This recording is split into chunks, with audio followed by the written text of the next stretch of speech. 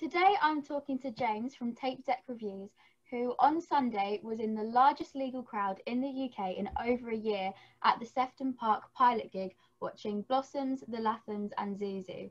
So this was billed, billed as no social distancing and no masks inside the tent, a show to help open up live music. And tickets were only available to residents of the Liverpool City region and there were 5,000 sold. So first, let's just go with how was it? It was like COVID never existed. I got I got into a mosh pit. I finally got to listen to live music after a year. I was happy. I was in my element. Like I, I loved it. Every minute of it.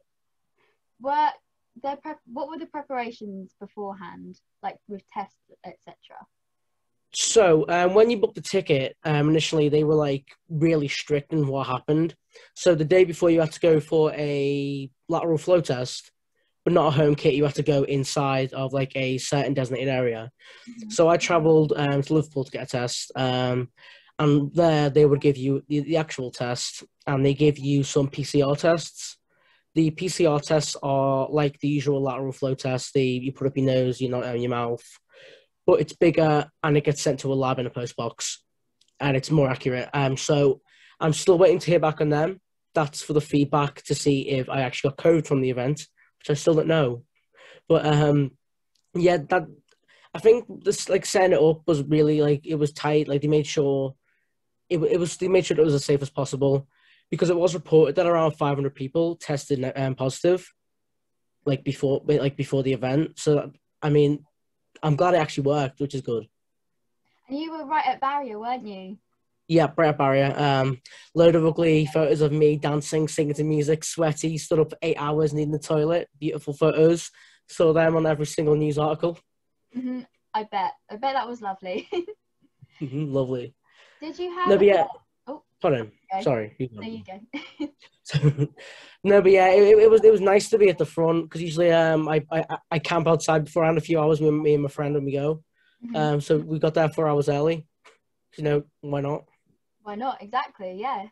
it's it's the first gig back. You've got to make it worth it by 100%. getting to the front. Did you have any doubts before you booked, or was it a no-brainer you were going? Uh, well, fun, funnily enough, I've got the Lathums um, tweets on notification, mm-hmm. and I woke up one morning. I think it was a Saturday or something, and I saw a it, it said, "Oh, playing in Sefton Park with the Blossoms and Zuzu," mm-hmm. and I thought, "Oh, it may it must mean next year." And it said May 2021 pilot gig. I was like, what? What? and I, I researched it all. I was like, wait, am I in the Liverpool City region? Because I don't live in Liverpool. I live um, across the water in Wirral. So I had to like double check with everyone that, that I technically classed to get in. Um, I booked it in the first minute and sent my, my mate the ticket in the first minute and we got it in like the first minutes and there was a no-brainer. I had no clue what my parents would think of me going no clue if i had any plans on that day. I was like i'm sorry i've got to go. This this this means way too much for me in the industry i'm in. Did you get any worries or doubts closer to the gig the nearer it got or were you confident the whole time? Um, well i had two doubts. One was i was scared i was going to get i was scared i was going to get covid and i couldn't go Mm-hmm. Like the one I, I was like every, like every time I went out to college or was out with a friend, I would just feel like right, I need to make sure I'm actually doing like practicing distancing even more because I did not. I actually I really wanted to go to the event, and I would have been absolutely gutted if you know I, I wasn't able to go, yeah. and I didn't really have a doubt um, per se of going. But I did have like little doubts thinking, is it gonna get cancelled? If the if the rates rise, will it go ahead? But my ticket was cancelled originally.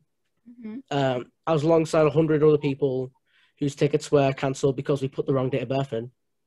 Oh. I, I've I have no clue how. I have no clue that happened. Like I, I, I got a text and was like, "Have you got to be kidding me? Have you, have you got to be kidding me?" And luckily, luckily they um they got it sorted quickly. But they sent the message out on a Sunday, ten minutes for their services close, and the tickets were refunded on a Thursday. So they told us days, like days after. So we were all like, oh, this isn't good. But luckily, it, it got sorted quickly and all my doubts went. And I was just anxious for a festival. Mm-hmm. And how well was it managed with like drinks and toilets and stuff? Did you feel safe within the plans of what the festival set out to achieve? And the one thing I want to highlight in this interview is how amazing the staff were here. I think like out like out of all the festivals and gigs and events I've been to, these have been some of the most attentive staff. Like when I got there, like me, me and my friend, we had chats with the staff members. They were, they knew what was going on. They were on it. They knew every rule. They understood the whole mask thing. Um, the toilet situation though, that was perfect. The so what happened was the it was in the corner of the tent, um, and you had to go outside. And what there was, there was around maybe twenty cubicles, a girl's bit, a boy's bit, and there were like these giant pocket urinals. Um, but the toilet, the toilets are fine. There was hand sanitizer um, there. That was at like almost every entry point, which that was like a peace of mind. And before you went to the bar, there was hand sanitizer, and there was um, certain place you had to queue for it. But it, it, it was definitely no COVID restrictions. Like you know, for example, if you go to the shops, you got to queue up. Mhm. But it was like your average. You know, you go to a festival, the bar line's going to be obviously, you know, massive.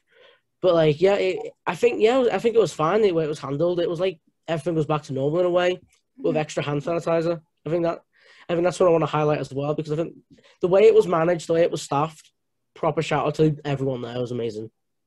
It must have been so weird to have something so normal after like over a year of things being weird. You, yeah, I probably would have been taking the precautions by accident and been like, oh, I don't have to do this. But yeah, I, I guess that's super exciting. So, what do you have to do now post gig? Do you have to self isolate or take tests or what? Um, well, so I've had to, as I said before, I've had to send over a PCR test. I've had to send over a bunch of PCR tests over to over by post, and I'm still waiting to get that result back. But the day and today and the day before I got in, um, I did do some lateral flow tests. So before I went to college today, I done one. I mean, it was extra hassle getting up early, but like I, I made sure it was you know a bit better. But as you said before about um, it must be weird to go back to normal. In the beginning, when I entered, I did have my mask on, and I got pulled over by BBC, and they asked for an interview, and um, it got broadcasted on national news of um, me saying, "Oh yeah, taking my mask off, mask off, ready to go," um, and everyone messaged me. My history teacher was like, said, "Hey James, saw you in the news today." Um, a neighbour said, "Oh, I saw you." Um, no, but yeah, it, it was it was weird, like no COVID, like no COVID restrictions. hmm It must have been a great opportunity to be involved in this pilot gig. Like, it must have been so cool. But a lot. Oh, sorry, I keep interrupting. it's, it's fine, it's fine. Um, I say 100%. It was great to be involved. Like, I think the thing I said this in a different thing. Um, of, like when I was, yeah, I said this to like an Austrian news report as well. But the fact that it's Liverpool, um, I think that's just, that's just great. It was it was like right up my alley, and the fact that it's something what I'm going into events management, and the fact that I've got an actual event coming up soon, Mhm. and this could maybe make or break the event. That was kind of the scary bit of going, but I'm so happy. I'm so happy it went on. Yeah, a lot is riding on the success. Mhm. Um, I'm sure there'll be plenty of information coming out, and we will hold our breath, waiting on how it will influence our planned summers and end of the year full of music. But thank you very much for sharing your experience with me, and good luck with your test on Friday that you've got to take. And um, yeah, thank you very much. I'll speak Thank you. soon. Goodbye. Bye. Bye.